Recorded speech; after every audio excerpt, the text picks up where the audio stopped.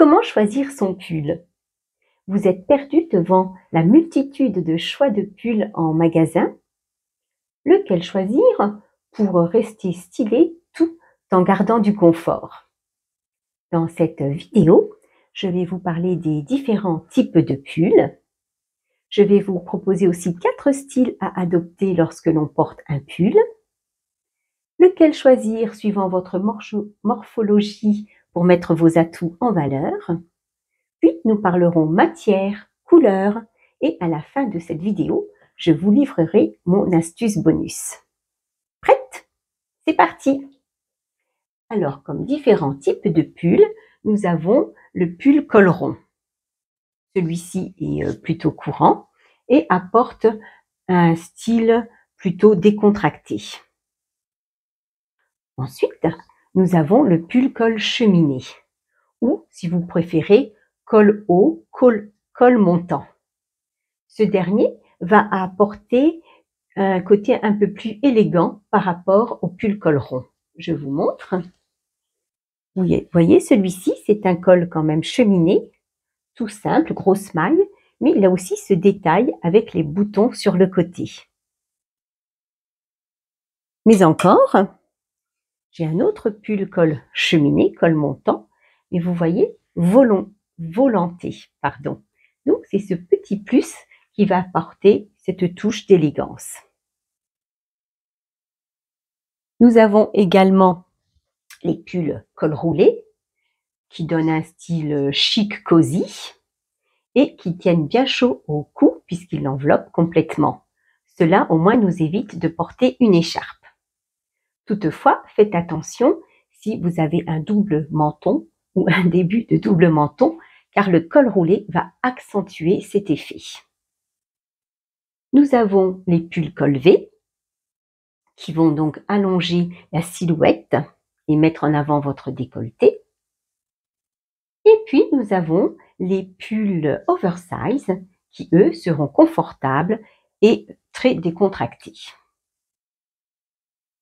Donc parmi tous ces pulls, je vous propose quatre styles à adopter.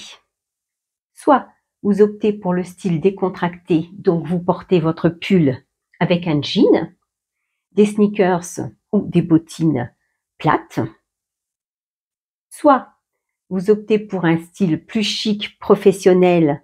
Dans ce cas-là, vous portez un pull fin avec une jupe, un pantalon ou un pantalon tailleur et des petits talons.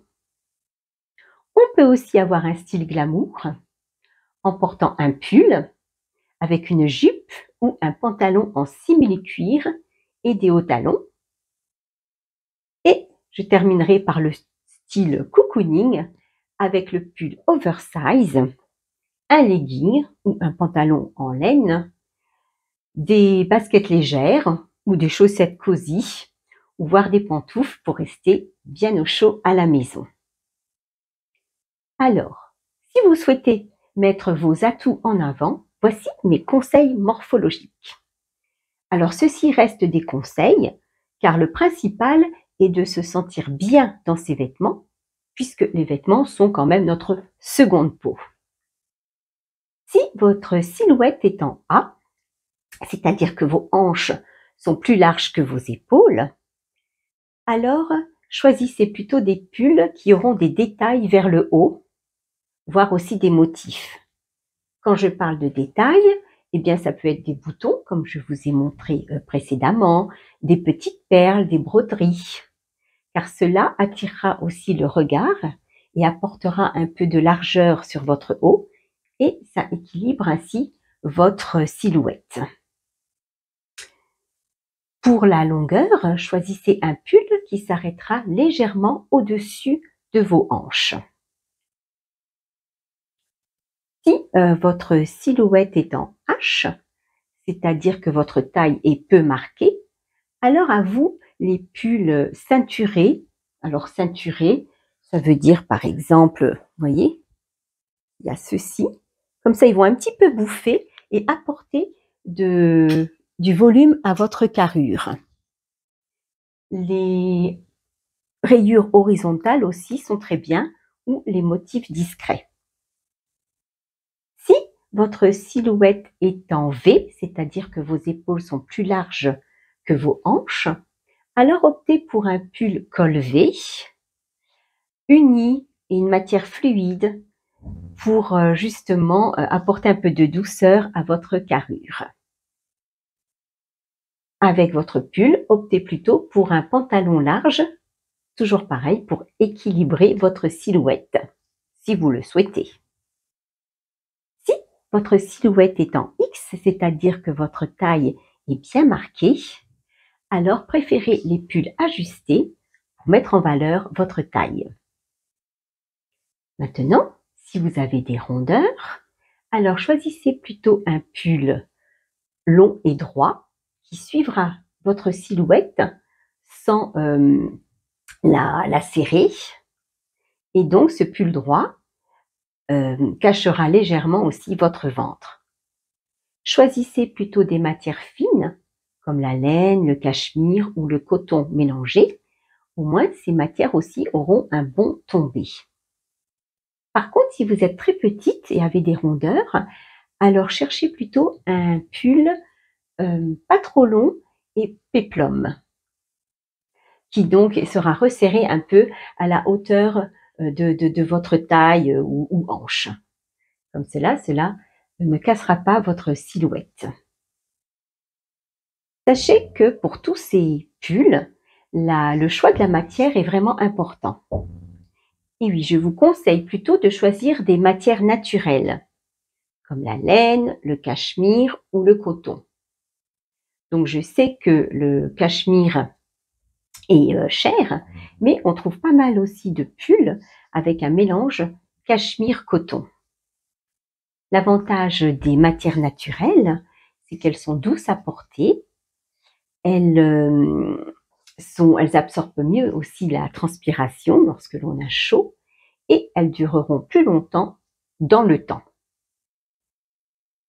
Qu'en est-il aussi du choix des couleurs? Si vous le souhaitez pour flatter votre teint, car quand même le pull se porte en haut du corps, eh bien euh, prenez en compte votre colorimétrie. Si vous ne la connaissez pas, j'ai récemment fait une vidéo qui vous propose de faire vous-même les tests à la maison pour découvrir vos couleurs. En attendant, sachez que les tons chauds, comme le camel ou le bordeaux, euh, iront plutôt à celles qui ont un teint doré.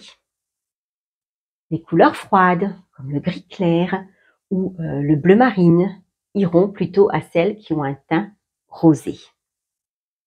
Alors, qu'en est-il de mon astuce bonus? Eh bien, c'est de miser sur les accessoires, surtout les bijoux. Par exemple, lorsque vous portez un pull col rond, n'hésitez pas à y ajouter un petit collier fin ou alors des boucles d'oreilles longues. Si euh, vous optez pour un pull col roulé, vous pouvez très bien ajouter un petit foulard. Ce sera un joli détail, mais aussi des boucles d'oreilles pendantes. Et si vous avez un gros pull oversize, pourquoi pas lui ajouter une ceinture fine. Vous voyez, n'oubliez pas, le diable est dans les détails. Alors vous voilà prête pour trouver votre prochain pull. Mettez-moi en commentaire quel pull vous portez en général pendant l'hiver. Si cette vidéo vous a été utile, merci pour un like un petit commentaire, un abonnement. Et je vous dis à bientôt pour d'autres conseils sur C'est mon look. Au revoir